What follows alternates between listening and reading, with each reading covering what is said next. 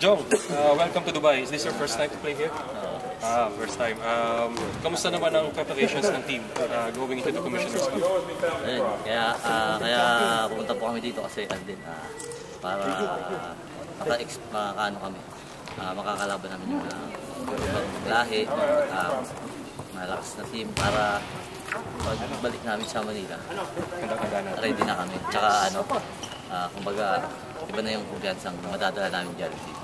Kamusta naman yung transition from NCAA Perpetual going to NLEX? Oo, mahirap kasi, siyempre, unlike college, maliliit, medyo maliliit pa. Unlike pag dating mo sa PBA, eh, doon yung mga lahat ng mga galing. Laki ng katawan, kailangan mag-adjust eh kasi, ano, kasi hindi ka kasi sa na mm, kaya mong ah, pag ano, lahat ng ano, ha, pag ikaw yung ano sa team mo, kaya mo, siya- kaya mo dalhin. Unlike dito, kailangan kayo buong, buong team kayo magdadala. Mm, tsaka ikaw yung sasay na sa Perpetual na ano, no, last two seasons.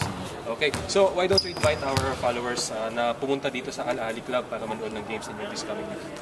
Ah, to all Filipino here in Dubai, ah, ini-invite ko po kayo to, to watch our games here in Al Ali Stadium. Stadium. Supportahan niyo po kami, Team Netflix. Ah, puso. Puso. Salamat. Thank you. Thank you.